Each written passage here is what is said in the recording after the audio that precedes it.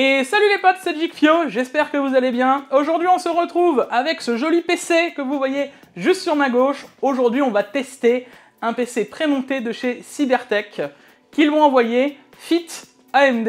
Ils m'ont demandé mon expertise pour savoir ce que vaudrait ce PC prémonté. Vous allez voir, on est sur un build full AMD derrière. On va tester le PC complètement. Trêve de bavardage.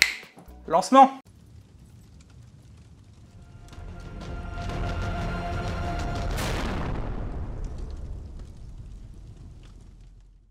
Et nous revoilà les potes. Alors comme d'habitude, on n'oubliera pas le like, l'abonnement, les réseaux sociaux comme d'habitude. Et on en profitera pour aller voir dans la description, on pourra directement retrouver le lien du concours pour gagner le PC. Ah les gars, j'ai réussi à négocier en même temps pour qu'il y ait un concours pour vous, donc le PC sera à gagner. Et vous verrez que la config est quand même pas déconnante, elle est plutôt sympathique. Donc pour ceux qui ont envie de tenter leur chance, ben c'est dans la description que ça se passe. Du coup, directement via AMD, ils m'ont demandé de ce que j'en pensais, et ben via Cybertech, ils m'ont envoyé le PC que j'ai reçu comme ça. Alors, quand je dis comme ça, peut-être que comme ça vous vous en rendez peut-être pas compte, mais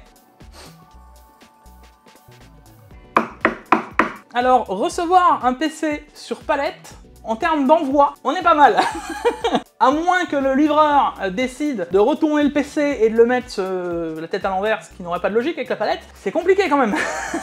Donc là, euh, déjà, mon premier point positif, en termes de livraison, on est pas mal. Alors avant d'attaquer quand même le test direct du PC, hein, je vais vous dire un peu les points concrets que moi, on va lever pendant cette vidéo. J'en ai 11 qui seront notés sur 5 points pour faire une note globale. En premier lieu, euh, le premier point qu'on va noter, c'est la livraison. Comment c'est passé, comment c'est protégé, comment... Enfin voilà. Donc euh, bon, là vous avez compris, déjà on commence déjà pas trop mal. En deuxième point, on notera le câble management et l'assemblage. Voir un peu comment ça a été fait en termes général à l'intérieur. Euh, l'esthétisme, en troisième point, comment les composants matchent ensemble. Si on a des marques totalement différentes, à gauche et à droite pour le RGB, etc. Enfin, l'esthétisme général du PC. On notera le prix VS la concurrence. Alors là, vous allez voir que déjà, on part très mal dans le principe où on est sur des Ryzen 7000. Donc je vais quand même le prendre en compte dans ma notation, puisque là AMD veut vraiment pousser les Ryzen de nouvelle génération. On a un 7700 non X à l'intérieur et une B650. Pas besoin de vous dire que déjà, rien que là, on est très cher. On sait qu'on peut avoir d'autres processeurs, etc.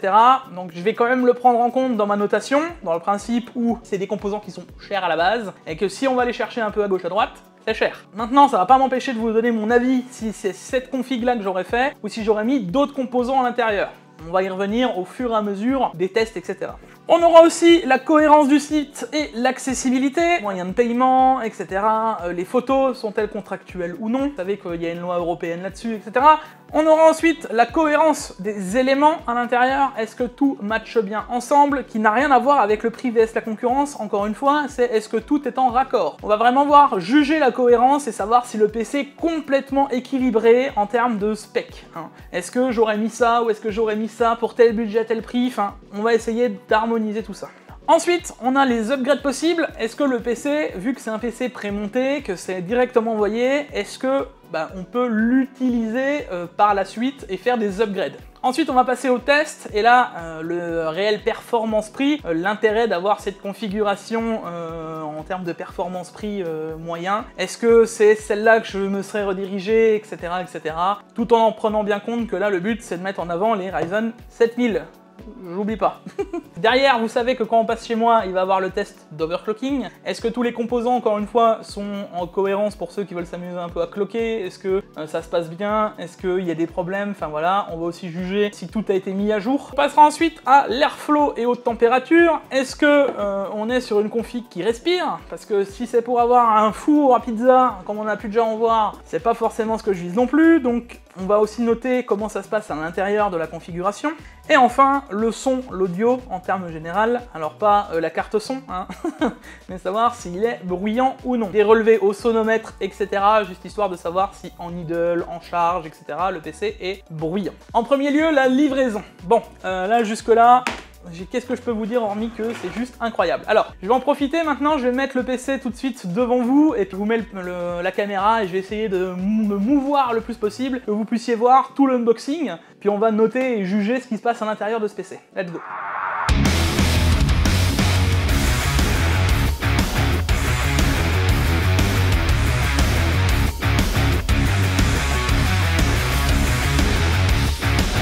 Là, pour l'instant, en termes d'unboxing, j'ai pas l'impression qu'il y ait quoi que ce soit qui ait bougé. On reçoit aussi, ça c'est le papier antistatique de la carte mère. Et on retrouve dedans le câble d'Alim, les antennes Wi-Fi, les stickers MSI, tout ce qui est carte mère MSI, pour ajouter les M2, etc.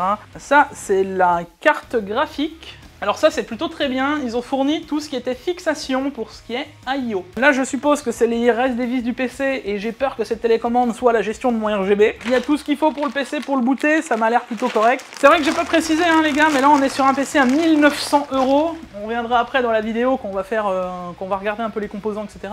Mais c'est plutôt bueno de savoir qu'on peut déjà modifier le PC par la suite. Allez on continue l'unboxing.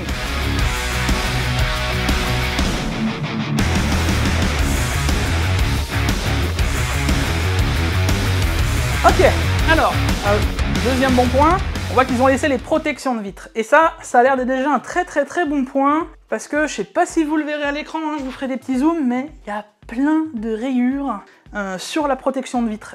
C'est que la protection de vitre, donc encore un bon point. Pour l'instant, c'est plutôt pas mal. Bon alors, on va d'abord commencer par la configuration. Le boîtier M-Red Iron Glass. Alors, on est quand même sur un boîtier assez haut de gamme. On est sur un boîtier chez eux qui vaut 170 euros.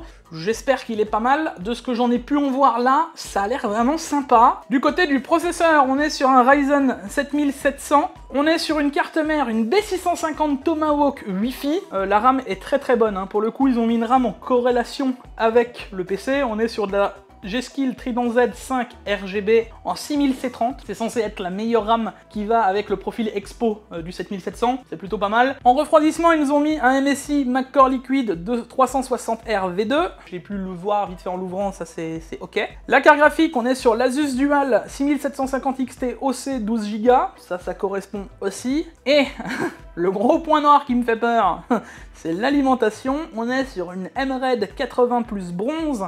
J'ai un peu regardé ça en amont. Euh, je ne vois rien en termes de protection, etc. Alors il doit sûrement en avoir, hein, mais rien de noté. Moi, cette alimentation, je vais pas vous mentir qu'elle me fait peur. On va regarder ça après, mais bon, voilà, ça va être euh, le point que je vais vraiment regarder sur ce PC et c'est vraiment le point qui m'inquiète. Et en termes de SSD, on a un NV2 de 1TB, un Kingston, euh, c'est suffisant pour le gaming, pas besoin de plus. Bon, je vous propose maintenant qu'on l'ouvre, on va enlever les vitres et on va regarder un peu tout ce qui va se passer. Euh, pour l'instant, je vais laisser la protection en plastique, comme ça on pourra juger aussi sur Twitch. On va regarder un peu ce qui se passe et en termes d'esthétisme aussi à l'intérieur. Bon alors première chose, euh, les vitres, vous voyez qu'elles sont sur charnière, ça a de la gueule, hein. on va pas se mentir, c'est pas mal, la vitre est aimantée, et c'est un verre trempé que vous pouvez voir qui est fumé. En termes général mais d'esthétisme, je vois que tout a l'air branché, je vais essayer de vous prendre à la main. Déjà premier point qui me fait peur, c'est ça. Je vais pas vous mentir que là je vois qu'il y a qu'une seule alimentation Whipin, alors pour le 7700 ça doit être suffisant, mais on va pas se mentir que pour mettre un 7950X, une deuxième alimentation whipping, ce serait pas trop. Bon bah tout a l'air bien fixé, on voit que ça n'a pas bougé pendant le transport, ça, ça a l'air ok. Comme je vous ai dit, la carte graphique, elle a pas l'air d'avoir bougé, ça, ça a l'air plutôt être ok. Les câbles sont bien enfoncés, le câble management est plutôt propre, hein. la plaque fait que c'est très propre. En vrai, en termes général, l'esthétisme de la config, je sais pas ce que vous, vous en penserez sur YouTube, mais en termes général, ça a l'air pas trop mal. On notera pas les ventilateurs MRED parce que ça, je suppose justement que c'est à ça que va servir euh, la petite zapette RGB que j'ai. C'est pour contrôler ces ventilos. Bon, alors, euh, je m'attends pas à des ventilateurs incroyables, mais bon, il y a le mérite qu'ils soient complètement tous là, et ils ont mis, vous remarquerez, l'AIO en top. Le seul défaut, moi, que je dirais, les gars, c'est ça, parce que, je sais pas si vous le voyez, mais c'est ultra tendu. Genre, euh, alors on va essayer, je vais essayer de débrancher les connecteurs, Ouais, c'est ce que je craignais. Ils sont gentils Cybertech, mais... Oh.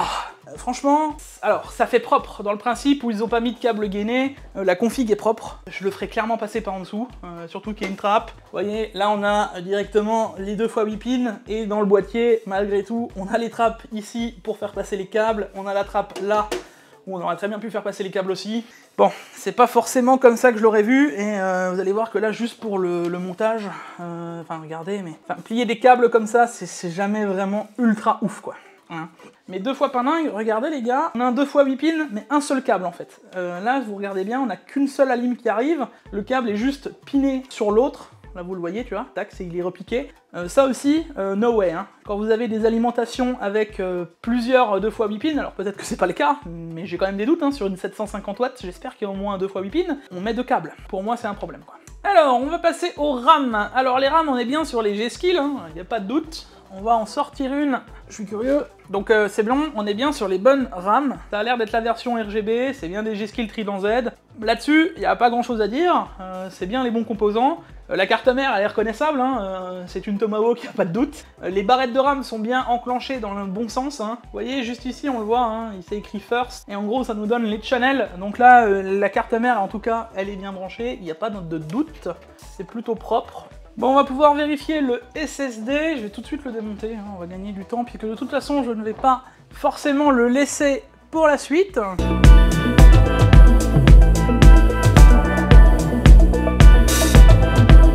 Bon, jusque là tout va bien, on est bien sur un NV2 de 1Tera, ça colle encore une fois à ce qu'on a dans la configuration. Bon bah vu qu'on y est, hein, on en profite, on démonte la carte graphique, on regarde un peu ce qui s'y passe, puis ça me permettra de pouvoir la rebrancher plus facilement après. Alors on notera que c'est pas vraiment facile d'accès et que c'est les vis classiques d'un boîtier qu'on retrouve à 40 ou 50 euros quoi. C'est vraiment les vis euh, carrés classiques. Pour un boîtier à 170 balles, à des vis à main, ça aurait peut-être pas été de trop quoi. Disons que j'ai déjà vu un peu plus incroyable. On en reparlera après, mais je vois que la carte graphique a une position à la verticale. Euh, ça, c'est plutôt pas mal. Là-dessus, niveau composants, les gars, on est bien. Hein. On a une dual. Alors, c'est pas la meilleure des 6900 XT. C'est clairement pas la pire non plus. En termes d'esthétisme, c'est pas trop mal. Par contre, on notera un truc, on est en full MSI. Ça veut dire qu'on a un water cooling MSI, on a une carte mère MSI avec une carte graphique Asus. Cohérence des composants, on avait mieux Alors il faut aussi noter qu'il y a un plastique euh, pour maintenir la CG, c'est peut-être pour ça aussi qu'elle va pas se promener. Pour le coup, c'est plutôt pas mal d'y avoir pensé, euh, et ça évite que la carte euh, s'aguerre, hein, qu'elle s'affaisse. Bon, ça c'est bien pratique quand t'as une RTX 4000, celle-là elle s'affaissera un peu, mais vachement moins que les autres. Mais ça le mérite d'être là, franchement c'est pas mal. Pour le coup, le boîtier en lui-même, il est plutôt pas mal, il est assez quali. Maintenant, est-ce que je donnerais 170 euros? Ça me paraît quand même vachement cher. Bref, je referme la carte graphique, je la remonte, je la referme, et on passe de l'autre côté du PC, et on va voir ce qui se passe euh, côté composant de l'autre côté. Comme vous avez pu le voir avant, euh, là par contre c'est très très propre. Là-dessus le boîtier par contre il est vraiment bien fait, ça fait un peu un cache à la Corsair. Alors moi j'ai l'impression que là ça se dévisse. Ok. Il y a en fait des vis qui cachent le reste du PC, c'est violent quoi. Bon du coup, une fois qu'on a enfin réussi à démonter la plaque, parce que pour le coup, si vous avez peur que votre plaque euh, s'en aille, aucun risque. Hein. Mais en fait, elle est tenue par quatre endroits, du coup, là, là, là et là, voilà. Euh, enfin, il y a quatre points d'entrée. On vient en câble management. Câble management, comme vous pouvez le voir, c'est propre. Et pour le coup, c'est même assez bien foutu, parce que si vous regardez bien, on a la colonne d'Alim principale, donc là on a le 24 pins, on a donc forcément les cartes graphiques, hein, vous l'avez vu, euh, le câble de carte graphique passe ici, là on a tout ce qui est, bon USB 3, etc., tout ce qui va à la CM, quoi, vous avez compris. Et là on a tout ce qui est fan, au final, et euh, alimentation boîtier, donc tout ce qui est USB, USB 3, USB-C, bouton d'aliment, bouton de démarrage, bouton de redémarrage, tout est là. Euh, pour le coup, c'est assez bien séparé parce que ben, je me dis toujours quand t'as besoin de faire un dépannage ou autre, ça c'est pas trop mal. Franchement, câble management, allez, je vais quand même enlever, je pense, un demi-point voire un point pour la CG parce que c'est vraiment, à mon sens, un problème. Mais sinon, en termes général, c'est très propre. Hein. Je vais pas vous mentir, j'aurais pas fait mieux quoi. je vais essayer de démonter la lime ou je vais essayer de voir l'étiquette de Stalim et on, on revient juste après. Bon les gars, vous savez que chez moi, on va jusqu'au fond des choses.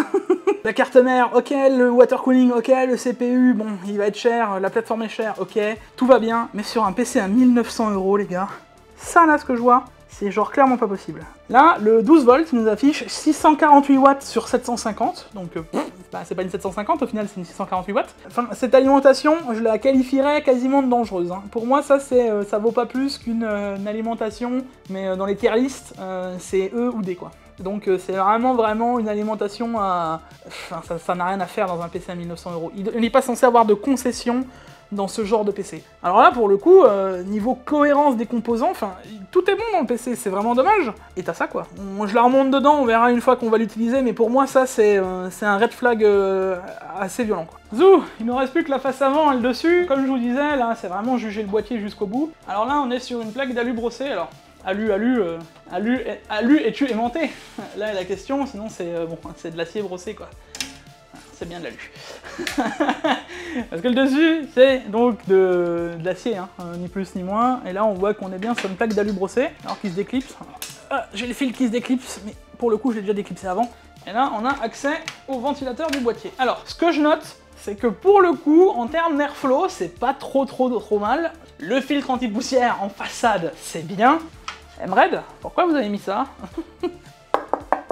Hein on aurait quasiment eu une belle façade en vrai comme ça. Enfin alors peut-être pas juste avec le filtre anti-poussière, mais en, vrai t'aurais pu avoir quelque chose de, de- pas trop mal. On est à ça d'être vraiment très bon.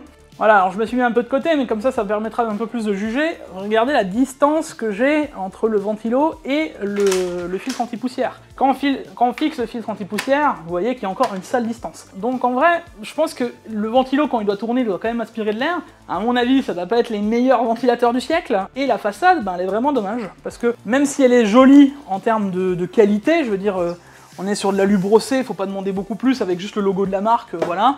Mais ne serait-ce que les clips en plastique, bah, ça permet même pas de laisser le boîtier ouvert et de se dire allez, euh, bah tiens, on peut le laisser en full mesh, vous voyez. Hop, on le laisse en full mesh et puis c'est parti. Non, ils ont mis les vieux clips euh, plastiques là, euh, c'est moche. c'est moche. Franchement, pour un boîtier à 170 balles, on était vraiment pas grand chose d'avoir quelque chose de bien. C'est vraiment dommage que ce soit les petites finitions qui soient pas ouf quoi. J'ai vite fait le retourner, on va le mettre sur l'arrière et on va regarder ce qui se passe en dessous. Ok, bon, de l'autre côté, vous voyez, euh, rien de plus classique, hein, donc ce que je vous disais, on a bien une plaque pour les mettre à la verticale. Pour le coup, euh, s'il y a un upgrade de boîtier, c'est pas mal. Maintenant, euh, on voit que c'est du triple slot, j'irai pas mettre une RTX 40, euh, je pense que ça va être compliqué niveau airflow, mais en vrai, pour une dual slot, c'est pas trop mal, c'est pas trop mal. Bon, face du dessus, comme je vous disais, c'est plutôt propre. On a l'audio ici, on a de l'USB 2, de l'USB 3, c'est propre. On a un USB-C, un bouton de redémarrage, un bouton de démarrage. Rien de bien plus difficile et plus classique. hein. Et le filtre anti-poussière qui est un plus, à mon sens. Euh, ça, euh, tous les boîtiers d'ailleurs n'en ont pas. Et bon, à 170 euros aussi. Mais, il faut le souligner, il est présent. On finira pour tout ce qui est côté câble management et cohérence des composants avec le dessous. Et là, bon ben, pas grand chose à dire, ils ont des pieds euh, dédiés. Alors, alors là, on peut voir d'ailleurs que les cages HDD sont euh, enlevables, hein. on peut tout, tout virer, on voit que tout est démontable. Et j'ai vu de l'intérieur, on pouvait les démonter. On notera quand même qu'il y a le filtre anti-poussière pour l'alimentation. Voilà, ça c'est présent, mais euh, le reste, voilà, pas, pas incroyable de dessous. Avis assez mitigé sur le boîtier, à 170 balles, je pense qu'il y a clairement autre chose à mettre. Mais vraiment autre chose, quoi. Bon alors encore une petite note pour l'upgrade. Bon, bah, je vous prends une 3090. hein. Alors c'est pas la plus grosse, c'est pas la plus petite. Vous rentrez une 4090 sans trop de problème. hein. D'ailleurs, hein, attendez, peut-être que dans tous les cas ça rentre. On peut encore avoir des cartes graphiques encore plus bodybuildées parce qu'il nous reste un bon 5-6 cm.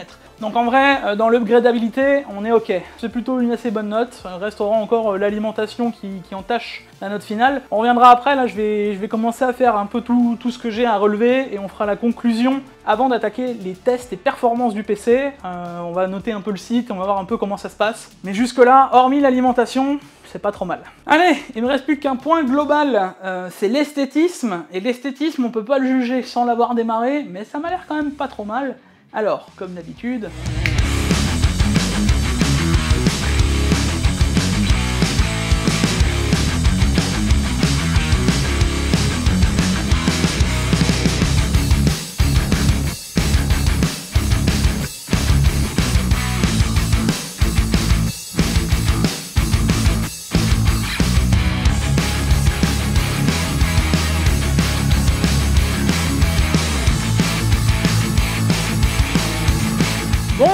les gars, euh, là, ils sont en train de se dire, passage, qu'est-ce qu'il fout là, Mais- lui? Qu'est-ce quoi? Mais comment ça là? Mais attends, on fait un tech actu jig, on fait quoi là? On est où là? Ouais, Euh, alors, euh, euh, il y aura, il y aura le visu du Tech Actu parce que j'avais pas envie de paramétrer une autre scène. hein, on est plus. Ce n'est pas un tech actu les gars, c'est bon. Voilà, on on est plus à ça, à ça près dans l'arrache, mais euh, Voilà.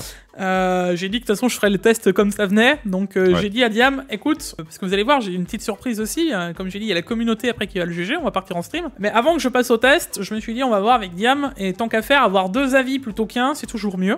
Euh, puis Et on l'avis fait de quelqu'un aussi avisé que moi jig en même temps, euh, tu peux pas refuser, écoute. hein. Voilà, totalement. Et puis non, puis même en- dans le principe, on fait tous les bons plans ensemble, donc ça me paraît logique qu'il y ait le. Ouais, tu vois, et- on se connaît, tu vois. On, voilà. Voilà. faut- Du coup, euh, là, je pense qu'on va commencer par le prix vs la concurrence, parce que, euh, bien entendu, il faut situer un peu le PC. Et le problème, c'est clair, on- gros problème même, quand tu arrives à la concurrence, il n'y en a aucun qui ont Ryzen 7000. Et donc on arrive sur la page de Cybertech, donc on peut déjà noter qu'il y a pas mal de changements possibles, hein, et euh, un peu tous les liens, on voit un peu tout ce qu'on a à l'intérieur de la config. Alors ça, Diam, j'ai déjà checké, tout est juste. Le boîtier, c'est bien le bon, le CPU, c'est bien le bon, la carte mère, c'est bien la bonne. Alors le premier qu'on a pris en PC, c'est Topacha, avec un PC à 1900 euros en face, et à mon sens, il va être plus intéressant, simplement parce Ouais. qu'il y a une 6950 XT dedans. Si on fait le montage chez Topacha euh, des mêmes composants, exactement les mêmes que le MRED, on n'est plus sur le même budget non plus. hein.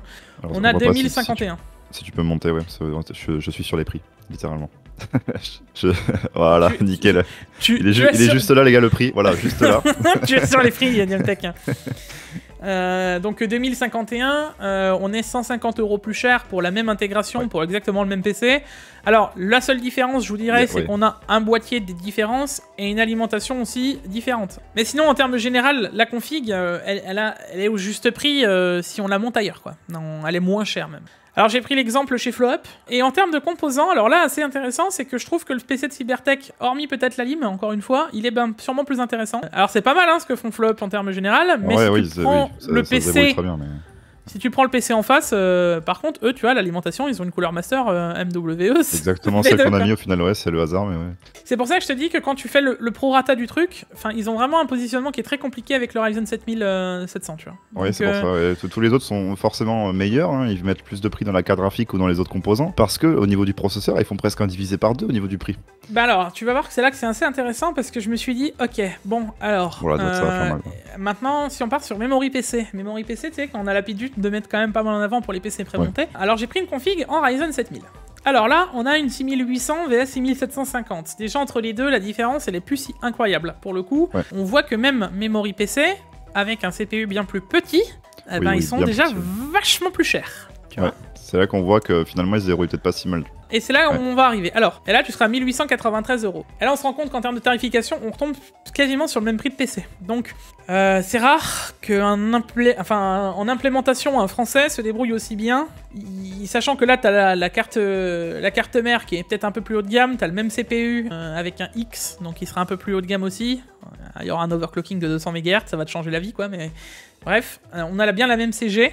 Voilà, et on a, euh, on a quasiment la même chose, quoi, en, en termes euh, global. Donc à 1893 euros, c'est kiff kiff, quoi. Il reste encore le panier Amazon. Donc là, on a fait exactement la même config, euh, hormis, parce que pour le coup, sur Amazon, le boîtier est dispo. Alors, il vaut 170 balles, hein, le boîtier, on- je vais vous le montrer après, mais on a fait la même config sur Amazon et on se retrouve à 1750 euros. Sans montage, même là, encore une fois, on se retrouve très très proche des tarifs que eux ils ont. hein. Alors toi, je sais pas ce que t'en penses, mais prix vs concurrence, euh, le placement il est quand même compliqué quoi. hein. En fait, ils ont pris un risque, mais qui au final euh, bah, est, ok quoi. Par rapport au prix de la concurrence, ils sont ok. Le seul truc qui leur fait défaut, bah, c'est les compos- les- c'est le choix de certains composants. Alors là, on va juger les deux, hein, ça va être le bon moment Ouais. pour juger la cohérence des éléments, les gars, et le prix vs concurrence. Alors, le prix pour la concurrence, à mon sens, prix vs concurrence, on serait sur un 3. C'est pas non plus ultra trop cher si tu fais le même PC. C'est pas forcément ce que je ferais moi, mais ça reste ok quoi. Plutôt bon, tu vois, le prix, il est, tu le fais de partout. Il est pareil. Enfin, il est pareil, voire moins cher sur certains trucs. Enfin, Ouais, même, mais les, même les plus gros, il y a. Certes, oui, encore une fois, c'est pas ce que j'aurais fait, mais le prix est bon et c'est rare d'avoir des PC prémontés euh, comme ça qui soient au même prix que le prix euh, tout au détail, par exemple, sur Amazon. C'est galère de faire.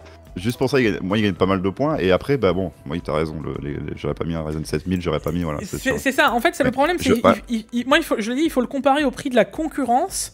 Ouais, et donc, moi, je- en termes ouais. en termes général, les autres, ils auront des meilleurs, des meilleures cartes graphiques. 4, ça me paraît trop, tu vois. Genre, ça me paraît vraiment trop. Donc, euh, c'est 3, 3,5 pour moi.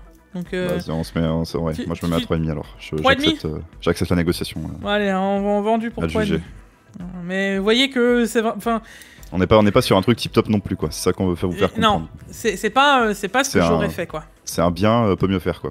Voilà, Ouais, il y, a, y a mieux quoi. Alors on va en profiter pour faire le choix des composants. Euh, la cohérence des éléments, euh, je reviendrai Ouais. après pour les autres notes, hein, mais en cohérence des éléments, euh, tout est bon dans le PC, hormis cette fichue allume. Et euh, quand je vous dis tout est bon, c'est que euh, tous les composants sont ouf en termes Et ils sont très bien choisis, surtout avec la cohérence. Enfin, parce que Ouais, et la, fait, la RAM, ils, la RAM, ils auraient très bien pu mettre de la 5002, tu vois. Et non, ils ont mis de la 6730, de la bonne RAM qu'il faut. La carte mère, ils l'ont même surdimensionné, ce qui est pas une mauvaise chose. Le CPU, bah écoute, euh, très bien, hein, euh, c'est un très bon CPU. Le boîtier est ok, il n'y a, a rien à dire. Ça va, c'est pas le meilleur boîtier du monde, encore une fois, mais il est ok. Euh, le stockage, bah pareil, hein, c'est pas, le- c'est pas un PC Express 4.0 à 7000, mais il fait quand même le taf pour jouer, il a pas besoin de plus. Ça suffira pour, pour gamer, c'est ok. La carte graphique, bah, euh, c'est pas, c'est pas un vieux modèle euh, y nul, c'est quand même une Asus Dual. Donc euh, il y, y a quand même, ça, bon, ça va pas chauffer une 6750, mais vous avez compris, ça reste un gros modèle. La RAM, ils l'ont vraiment, comme tu dis, timé correctement. Ils ont pris de la 6730, c'est la meilleure RAM pour les Ryzen 7000, donc on aura les meilleures performances de ce CPU. Ils ont pas mis un X parce que, dans leur logique, le 7700 est moins cher. Tous les feux sont verts. Et là, t'as une alimentation MRED 80, bro- 80 bronze que tu ne sais pas d'où elle sort, quoi. Mais pourquoi? Pourquoi avoir mis une alim pareille, quoi? Alors, je vais vous montrer, mais tout est ok, euh, sauf ça, quoi. Tu te retrouves avec une alim, ça me faisait énormément penser à une, à une alimentation Mars Gaming, tu vois. Et là, tu fais non, en fait. Enfin, pour moi, euh, cohérence des composants, je vais être très sévère. hein. J'ai mis 1 sur 5, parce que euh, cohérence, euh, ça n'a pas de logique. Moi je partais sur 3, mais en fait non, je vais partir sur 2. Parce que, en fait, en fait, tout est bon, tout est bon, mais surdimensionné en fait. Au début, je me disais, voilà, bon, c'est bon, donc ça va. Non, en fait, c'est surdimensionné, ça va pas. Et, et- mais je, je te le dis, moi, je- j'insiste, je laisserai 1. Et, la- euh, lime, quoi, encore une Et, fois. mais- et- je compterai 1 juste à cause de l'alimentation. Et là, alors Oui, là, la, la lime, ça fait très très mal. La lime, la lime aurait été bonne. La lime aurait été bonne. euh, je pense qu'on serait parti sur un 3-4. Je vais, pas- je vais passer un message quand même à tous ceux qui nous regardent, que ce soit les viewers ou même s'il y a d'autres marques qui nous regardent et qui veulent un jour que je teste un de leurs PC, avec grand plaisir, mais vous allez nous foutre des alimentations correctes. Il va falloir arrêter, et ça j'insiste, de vouloir absolument gratter dans... Alors c'est pas pour Cybertech que je dis ça, hein. C'est euh, général. général. pas hein. chez Cybertech qu'on l'a vu, c'est chez beaucoup de monde qu'on l'a vu. Voilà, Il- faut hum, arrêter de mettre des alimentations random. euh, Arrêter de sous-dimensionner les alimes, ce serait presque le premier truc à mettre le budget dedans quand tu fais un PC. Et je changerai pas. euh, Et je te le dis, je m'en fiche de ta note, Diam. Je vais, Ça je vais, je vais, je- non, mais là, je vais être, euh, je, vais être salé et méchant, tu vois. Il y en a peut-être qui vont penser que je suis sévère. Allez, Mais un, au-. Euh, moi, c'est un 1. Voilà, il va falloir que là-dessus, les gars, faut vraiment faire, euh, vraiment se mettre sur une cohérence des composants. En vrai, le PC, pour moi, tout est bon dedans. Il y a, y a rien, y a rien qui est acheté hormis la lime, quoi. Alors, on juge la cohérence de tout ce qu'il y a à avoir, etc. On aurait très Il bien faut, pu mettre- forcément. on aurait très bien pu mettre une 6950 XT ou au moins, s'ils auraient voulu Ouais. faire une ou deux économies, une 6800 XT, c'était jouable, à mon sens. Donc, tout ça mis bout à bout, c'est un quoi. Alors, ça me permet de juger l'upgrade, Ouais. l'upgradabilité en même temps, Le future proof. Parce que là, pour le coup, les gars, euh, si t'achètes ce PC, est-ce que tu peux l'upgrader dans le futur Bon, bah là, euh, Tout Oui est- et non. tout, tout est. Ouais, bah alors, si moi, à mon sens, tout est au vert, sauf encore une Bah. fois le même point qu'avant, quoi. Mais c'est non, du coup, c'est oui et non. Oui, il est, upgra- il est possible. On peut upgrade. Hein, tu, le, le, le 7950X, il passera sur le PC, mais pas avec la lime. Bah, J'irai même plus loin. C'est, euh, il va être upgradable beaucoup plus loin. Si tu veux demain mettre dessus un Ryzen 8 9 10000 qui sortira Ouais. jusqu'en 2025, il passera dessus puisque la carte mère, je pense pas qu'ils vont demain nous sortir un CPU qui fera 32 cœurs. Non. Qui sait, hein, j'en sais rien, mais Dans a la Ryzen logique- 3, 16 cœurs, c'est parti. non mais dans, dans la logique, si on devrait aller par là, le 7950X passe dessus. Il y a de fortes chances Oui. que les Ryzen d'après passent largement sur la CM. Elle est Ça, déjà elle surdimensionnée. Moi, upgrade, je pense que je peux, on peut largement mettre un 4. Le, Ouais, le, water, d'accord. le water cooling va être suffisant pour les CPU à arriver. Est sur Ouais. un 360. Euh, vous savez comment euh, le MSI on l'a poussé très fort depuis longtemps. Ouais, Euh, la RAM. À l'heure actuelle, elle est, enfin, c'est ce que tu peux avoir de mieux sur la plateforme, donc Si t'as si pas, oui, voilà. si t'as pas envie de claquer euh, 200 euros de plus dans, une barrette, euh, dans des barrettes de RAM et que ça tourne pas en plus sur les cartes mères actuelles, c'est le meilleur choix. Bah, t'as pas le choix, de toute façon, euh, à l'heure Ouais, ouais, actuelle, tu peux pas mettre la 7002 puisque elles ne prendront pas. Et actu- c'est la, meilleure RAM pour ces Ryzen là. Donc si Ouais. les prochains Ryzen euh, prennent plus haut, et j'espère qu'ils prendront plus haut, ce serait illogique. Mais s'ils prennent plus haut, bah, t'as déjà ces RAM là qui sont déjà très bien de base. Donc ça reste ok. Le SSD, c'est pas le plus fou, mais on s'en fout, tu peux l'upgrade si tu veux demain. Euh, Oui, a- enfin, tout, tout va bien, sauf encore une fois, on revient sur La le lime. même point, la lime. Voilà. On peut pas les saquer pour ça sur tous les points, mais euh, en, en général, la cohérence est bonne. Et c'est des bons choix, et c'est rare qu'on voit une aussi bonne cohérence chez un PC prémonté. Donc, prix concurrence 3,5. Cohérence des éléments 1, upgradabilité 4. Voilà, il nous reste la cohérence et site euh, et l'accessibilité. Euh, là, les gars, bon, Cybertech, euh, c'est plus le site de la dernière génération. euh. Ouais. Ah, bon, le petit bonhomme qui vient en bas à droite dès que t'arrives sur le site. Coucou, Ouais. est-ce que je peux vous aider? Bon, Je suis là, votre pas- assistant personnel. Je puisse vous aider. bon. Non mais bon, on peut pas juger. Voilà, c'est pas c'est pas le meilleur site, mais il y a clairement dix fois pire. Niveau navigation, on est pas mal. Le niveau descriptif, c'est ok. T'as tout ce qu'il faut. Ouais. euh, voilà, ils te disent les complet. connectiques, la taille, enfin. C'est ok, tu vois. On peut pas mettre 4 parce que ça me paraît. euh, 4 déjà, c'est vraiment, t'es sur un très bon site, tu vois, avec un, un configurateur facile, machin, etc. Faut mettre la moyenne, moi je dirais un 3,5, c'est pas mal. Je suis d'accord avec toi aussi, 3,5. C'est pas le plus meilleur site, c'est pas mauvais, c'est normal. Il est ok. Genre, il y a pas de mauvais euh, point. euh, voilà. Ok, eh ben écoute, alors je pense qu'on va faire le total de, de tout ça, Dame. Ouais. Alors, euh, livraison, maintenant je vous donne euh, les, les points par point avant d'attaquer le test. Ouais. Parce que là, ça y est, on est au bout. Hein. 5 sur 5, livraison protégée avec sur palette. J'ai quand même demandé hein, euh, aussi, est-ce que euh, c'est pour tout le monde les livraisons sur des PC sur palette? Ce sera à partir d'un PC apparemment euh, entre 1002 et 1005 euros. Ils commencent à mettre sur palette. Câble management et montage, 4 sur 5, comme j'ai dit. Manque euh, les, les- enfin, les câbles trop tirés au niveau du, de la carte graphique. Le fait qu'on ait qu'un seul 8 pins alors qu'on voit que sur l'alimentation il y en a 4 de dispo. Ouais. Voilà. euh, sinon le reste, les câbles parfait, séparés. Mais on est pas mal. On est vraiment pas mal, c'est pas, pas trop mauvais. L'esthétisme, j'ai mis un 3,5 sur 5, c'est propre, c'est soigné, euh, le boîtier est ok, il y a des finitions à revoir, c'est pas le boîtier le plus incroyable non plus.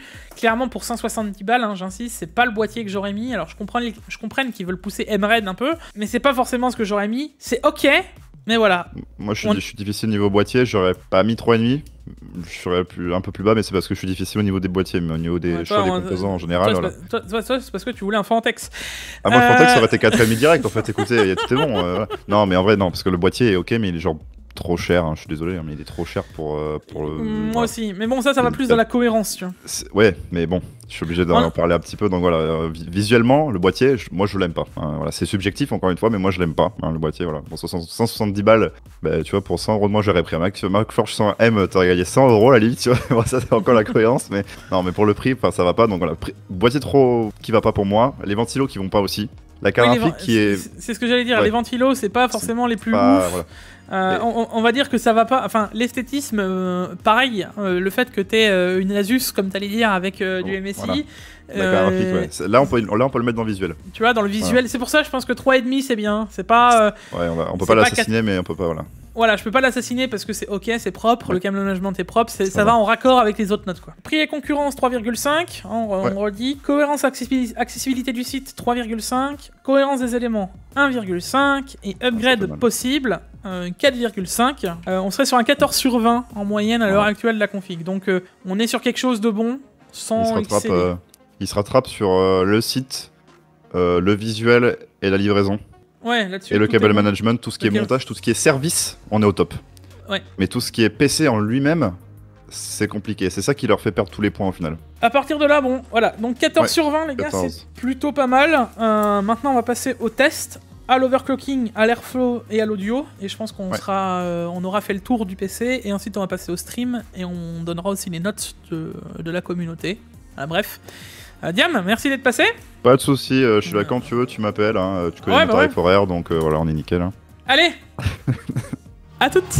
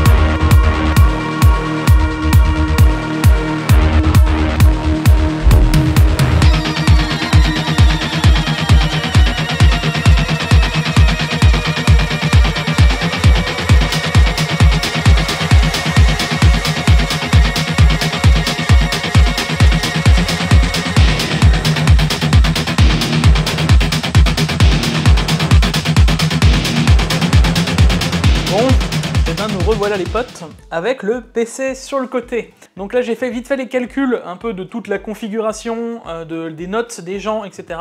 On a fait un live à 300, on est monté jusqu'à 400 personnes, et en termes de participation on avait toujours entre 100 et 120 euh, personnes qui participaient. Bon, à la fin, euh, vers 3-4 heures du matin, on, avait, était forcément moins. J'ai pris, si par exemple il y avait 50 personnes pour 4 et 30 personnes pour 3, j'ai pas juste pris le 4, non, j'ai pris vraiment des notes globaux dans le principe où ben, j'ai fait 4 fois 40, 3 fois 35, voilà, je vous donne des exemples, et ça va me permettre de donner une bonne grosse moyenne. Mais en tout cas, euh, il y a eu énormément de monde et j'espère que ça vous a plu. Alors là, je parle à la communauté Twitch, et pour ceux qui veulent nous rejoindre, pensez à activer les notifications Twitch, pensez à checker les réseaux les gars, hein, c'est toujours important. Ça a eu l'air de vous plaire, donc dites-le moi encore une fois dans les commentaires si ça vous a vraiment vraiment plu. Euh, S'il y a d'autres PC un jour qui viennent en test, je pense qu'on fonctionnera toujours dans le même principe, ça permet de noter, ça permet de passer une bonne soirée, et même moi je me suis ultra éclaté. La preuve, je suis encore là, donc c'est qu'on est bon. Il y a une note qui est beaucoup plus globale donc sur la livraison, le câble management, l'esthétisme, prix vs la concurrence, la cohérence du site, euh, tout ce qu'on y retrouve, la cohérence euh, des composants, et ensuite l'upgrade. Donc ça c'est une partie de la note. La deuxième partie qui va compter pour la même partie de l'autre note, hein, c'est tout ce qui va être test. Donc là on aura l'airflow, la température, le performance prix, le bruit et l'overclocking. Voilà. Alors maintenant je vais vous redonner toutes les notes parce qu'on a eu énormément de micmac. Les notes sont quand même pas si mauvaises que ça, malgré que le PC en termes de rapport performance-prix est très discutable. Comme j'ai expliqué aussi pendant le live, il euh, fallait prendre en compte qu'on était sur des Ryzen 7000. Bon. Alors pour mes notes euh, globales, on avait déjà tout fait avec Diamtech, euh, sur tout ce qui était livraison, etc. En global, on avait un 14 sur 20. Voilà. Alors moi je vais vous donner les résultats de mes tests et les notes que moi j'ai pu donner. Alors, on a d'abord le performance prix, et là, ben, forcément, ça va pêcher. Hein. Vu que la cohérence des composants, ça va pas. Même pas forcément que avec l'alimentation. Hein. L'alimentation, on a pu voir qu'elle tournait. Cette alimentation, je la mettrai quand même pas plus loin que euh, dans les tier list en tier C, de ce que j'en noterais. Tier C, low priority, quoi. Donc, euh, c'est quand même pas une alimentation incroyable, et dans un PC à 1900 euros, on devrait pas faire de concessions comme ça. J'ai donné un 2,5, donc la moyenne pour le performance prix. Le PC est très cher, c'est pas forcément ce que j'aurais fait aurait pu aller voir moins cher les autres compos. En fait, j'ai la totale inverse de ce qu'on a d'habitude dans les PC prémontés. D'habitude, on a une carte mère qui est vraiment pas folle, on a un refroidissement qui est sous-dimensionné, vous avez des rames vertes et ben là, c'est la totale inverse. Mais à l'inverse, elles sont trop chères. On n'avait pas besoin des tridents Z RGB, peut-être qu'il y en avait des autres, des Ripjo ou autres, qui auraient été moins chers. Bref, tout ça mis bout à bout, eh ben on rentrait une 6950 XT sans même parler de l'alimentation, quoi. Et au final, une 6950 XT avec un Ryzen 7000, eh ben en termes de cohérence et en termes de rapport performance-prix, ça aurait été euh, quasiment, pour moi, sans faute. On aurait eu un 4,5, 4. Allez, on aurait même pu forcer, en vrai, si on faisait vraiment full, full, full économie, la 7900 XT, elle devrait rentrer, quoi. On en discutait encore sur le chat, euh, c'était vraiment compliqué à positionner quoi. Bon, pour moi ce sera la moyenne, on sera sur 2,5. Ensuite, on avait les températures et l'airflow. Alors là, pour le coup, le PC se débrouille plutôt bien, euh, malgré que le boîtier soit pas le boîtier le plus incroyable du monde, il reste ok. Il reste ok, on était en moyenne entre 70 et 72 degrés euh, sur le CPU, hein, c'était la grande moyenne. on a pu faire du gaming, j'ai pu faire du rendu, j'ai fait du VRE, vous verrez dans les benchmarks. Je me suis un peu amusé, et en vrai, le CPU, il bronche pas trop avec le 360, donc euh, voilà. Sachant qu'on sait que les Ryzen 7000, 95 degrés est devenu une norme. Pour moi, c'est bon en termes de refroidissement. Donc là-dessus, sur l'airflow, moi j'ai donné 3,5 euh, sur 5 ce qui est euh, à mon sens honnête, juste pour le principe aussi qu'on puisse pas changer la vitesse de rotation des ventilateurs en qu'avec la télécommande. Ça, c'est incroyable. En, 2023, ça devrait plus exister. ça veut dire qu'on peut jamais paramétrer une courbe de ventilation. Il faut prendre sa télécommande, appuyer.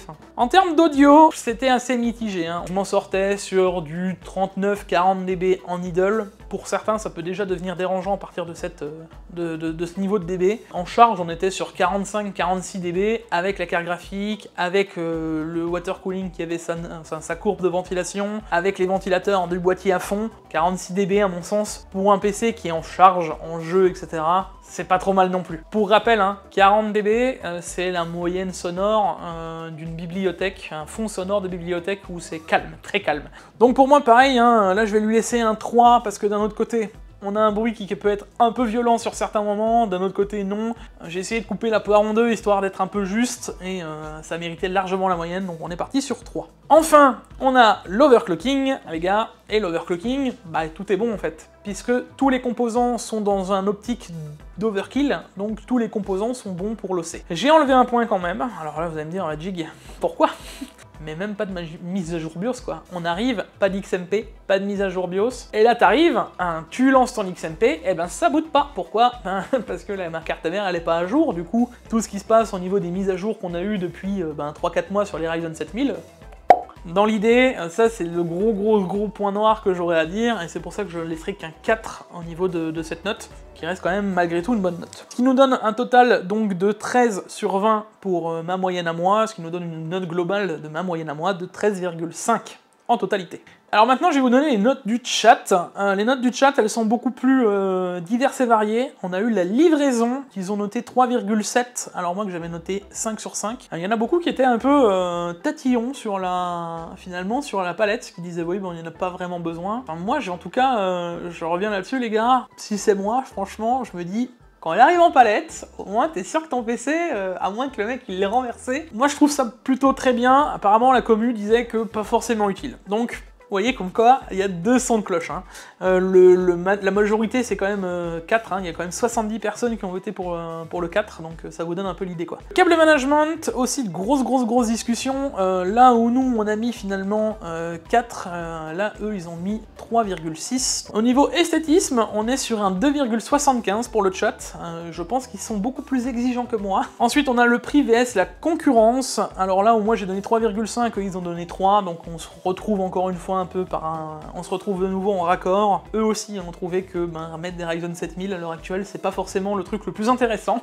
Ensuite, on a eu la cohérence du site. Hein. Pour le coup, le site, pas grand chose à redire, euh, le paiement en plusieurs fois, etc. Le site, 55 hein, personnes qui ont voté pour le 4 et 44 personnes qui ont voté pour le 3. Pour la cohérence des composants, ils ont été plus gentils que moi. Eux, ils ont donné 1,53, donc 1,50. Hein. Euh, la grande majorité de 1, la deuxième, c'est la majorité de 2. Donc, euh, pas besoin de vous dire que là, cette alimentation et la cohérence des composants, et eh ben c'est le gros point d'ordre de ce PC quoi. Clairement, le PC est bon, le PC est est, bon dans sa globalité. Je veux dire, il y a tout qui est bon, l'upgrade est bon. Euh, enfin, il, est future proofing le PC en vrai. Il, est super bien, mais l'alimentation c'est le gros point noir quoi. Vraiment, euh, tous, ils étaient tous d'accord. Pendant tout le live, on a eu le droit à. T'es sûr que l'alimentation n'est pas en train de prendre feu? T'es sûr qu'il n'y a pas de la fumée? C'est un point que j'insiste vraiment dans tous les assembleurs de PC, etc. C'est plus possible maintenant de mettre des alimentations qui sont vraiment trop entrée de gamme. Le problème, c'est que ben, pour eux, c'est rédhibitoire. Alors peut-être que ça pourra aller à monsieur tout le monde. En vrai, l'alimentation, elle a fait le taf pendant les heures qu'on était dessus, c'est pas le problème. Mais je reste à dire qu'une alimentation, une gamme au-dessus, on ne demande pas de mettre euh, la dernière platinium euh, de ouf. Mais je pense que ce serait vraiment, euh, vraiment, vraiment l'upgrade à voir. Et puis bon, le reste en, termes de cohérence, ce qu'il disait, c'est qu'il n'y a rien qui allait quoi. Mettre une aussi grosse carte mère avec un aussi, petit CPU et un aussi gros water cooling. Bref, il manquait trop euh, pour la carte graphique et au final on se retrouve avec une petite carte, petite carte graphique, on s'entend, c'est très bien pour la 1440p, mais c'est pas incroyable quoi. Donc euh, c'est vraiment discutable. Donc pour ça, 1,50, et ensuite on a l'upgrade. Alors là, à l'inverse, l'upgrade, euh, ils sont un peu comme moi, 3,61, hein. 3,60, une grande majorité de 4, la deuxième majorité de 3, 55 pour le 4, 26 pour le 3. Hein. Et là, bon, clairement, les, les gens sont totalement d'accord avec moi. Le PC est super bien, pour du futur, du moment où on change d'alimentation. Il faudra mettre un billet en plus sur le PC, ou alors Cybertech, s'ils peuvent par la suite modifier l'alimentation et pouvoir la, changer, bon bah voilà, ça sera la base. Mais sinon, en termes général, PC est excellent quoi. Donc euh, là-dessus, 361, euh, euh, on, retombe encore une fois sur nos pattes et on était d'accord en termes général au niveau des points. Donc ça nous donnera une note globale pour eux de 12,5, hein, donc 1,5 de différence euh, par rapport à moi, donc sur un chat de moyenne de 300 personnes sur tout le live. Hein. Ça vous donne une idée euh, un peu de la globalité, et en vrai, euh, j'ai bien aimé ce concept de pouvoir que eux puissent noter aussi, voir un peu ce que ça donnait en termes général. Ensuite, on va arriver sur les performances brutes du PC, et là on va parler température et airflow, et eux ils ont donné 3,8, donc encore une fois, on est très raccord. Hein. Moi j'avais donné 3,5, ils étaient très contents en tout cas des températures qu'on a pu avoir. Performance prix, bon bah là ils ont été aussi très durs, hein. on se rapproche aussi, mais 2,32, donc ils ont carrément donné en dessous de la moyenne en termes général, euh, la grande majorité c'est des deux quoi. Hein. 6750 XT, je pense qu'elle a vraiment du mal à passer, elle va vraiment avec euh, le côté euh, ben, cohérence des composants, forcément on le retrouve là. Enfin, on arrivera sur le bruit, pour eux c'est un 3,18, hein, donc on va partir sur un 3, ce qui est plus ou moins équivalent à ce que j'ai donné moi aussi. Euh, c'est plus ou moins dérangeant pour certains, mais la grande majorité me disait, en vrai, si tu l'as pas collé à l'oreille, du 40 dB, c'est pas vraiment un problème, ça va vraiment dépendre bah, si t'es comme ça ou si t'es là, quoi. Déjà là, t'as plus la même sensation de bruit, quoi. Donc euh, pour eux, c'est validé, euh, même les 45-46 dB en, gaming, c'était ok. Restera l'overclocking, qu'ils ont donné un 4 général, hein, donc ça correspond aussi aux notes. Là j'ai envie de vous dire, ils n'ont pas pu en profiter et tester d'eux-mêmes, mais de ce qu'ils en ont vu, on avait l'air assez content. Ce qui donne une moyenne de 13 pour le live Twitch, et ce qui donne une moyenne pour moi de 13,5 on est à 13 quoi. Donc en vrai, le PC se débrouille vraiment pas si mal. Euh, sur tous les points qu'on a pu voir, bah, la note globale elle est pas si mauvaise, on est quand même au-dessus de la moyenne de 3 points, ce qui est quand même pas mal, mais il y a clairement des points à revoir quoi. Et je pense que en modifiant 2-3 choses, l'alimentation c'est une chose, c'est vraiment le truc. Je pense déjà que si l'alimentation elle serait pas là, le 15, il y était. Pour le coup, le 15, euh, là on parle déjà dans des très bons PC, et à partir de là, 1900 euros, il n'y a pas trop de discussion à les mettre. Et pareil, euh, si on aurait pu économiser certains composants en termes général dans la globalité, je pense qu'on partait largement sur un 16, 17, 18, et là, euh, il n'y avait plus de discussion, le PC ça devient un banger. Donc bon, euh, c'est un peu dommage, moi je suis un peu, je suis resté un peu sur ma faim sur le test du PC, je le trouve pas si mal, mais c'est clairement pas le meilleur des PC que je peux recommander, alors ça reste un PC largement ok si vous voulez faire du Ryzen 7000 et voir pour de l'upgrade par la suite, mais c'est clairement pas le PC que je vais le plus recommander, en tout cas pour les petit moyen budget. Avant, je pense qu'il va falloir se diriger vers d'autres PC de leur gamme. Hein. D'ailleurs, ils ont d'autres euh, configs euh, sur, la, sur le site. Hein. Je vous laisserai voir sur les Cybertech. D'ailleurs, on a aussi vu Texama qui en a présenté une un peu plus entrée de gamme avec un 7600 et une 6650 XT. On se retrouve avec un PC qui est finalement trop cher euh, par rapport aux performances qu'il a, mais avec d'excellents composants dedans. C'est invraisemblable, d'habitude c'est l'inverse. Ils n'ont pas lésiné du tout sur tout le pourtour, donc enfin je peux pas, peux pas non plus euh, aller à l'encontre de Cybertech qu'ils ont vraiment voulu faire un effort euh, sur tous les composants, hormis la ligne parce qu'ils ont pas pu, ça j'entends.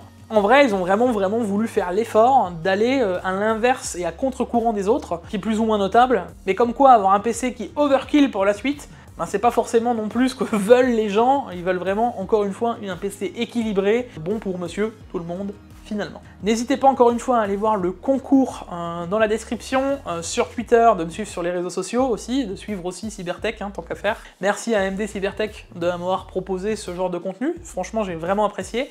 Si d'autres veulent ce genre de contenu aussi, n'hésitez pas. Hein. On essaye de faire ça le plus juste possible et avec en plus la communauté en direct, donc euh, si vous avez envie d'avoir les ressentis des gens en direct, et je pense que c'est la meilleure des choses, d'avoir un ressenti de 300-400 personnes, je pense que pour une marque en direct c'est top, donc n'hésitez pas, hein, eux ils avaient l'air chaud, et aussi vous, dites-moi dans les commentaires si vous voulez qu'on réitère l'expérience. Bref, dans tous les cas les gars, on n'oubliera pas le like, l'abonnement, les réseaux sociaux comme d'habitude. On se retrouve pour une prochaine vidéo. C'était Fio, à la prochaine.